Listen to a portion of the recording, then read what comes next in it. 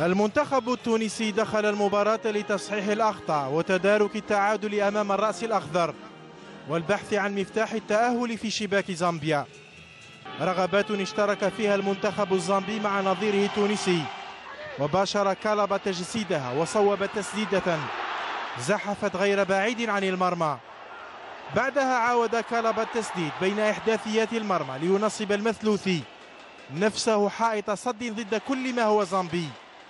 الدفاع التونسي بدا مهلهلا ومفككا وقليل الصرامة لكن المثلوث تكفل كعادته بترميم ثغرات بتدخلاته التي تعددت أمام المد الهجومي الزامبي الذي بدا حائرا أمام حارس برتبة دفاع بأكمله.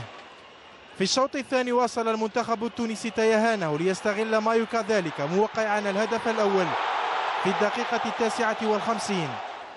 بعد الهدف تحرر مايوكا وكان قريبا من توقيع الهدف الثاني.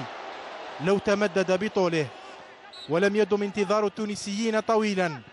إنها الدقيقة السبعون التي ارتفع فيها نسق المنتخب ليعدل العكايش النتيجة وليتغير معها الأداء إلى النقيض الإيجابي.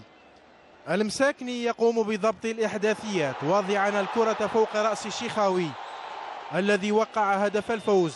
وقتل كل الأحلام الزامبية في الدقائق الأخيرة من المباراة لتبرهن نسور قرطاج أنها تصاب لكن لا تمنع من التحليق.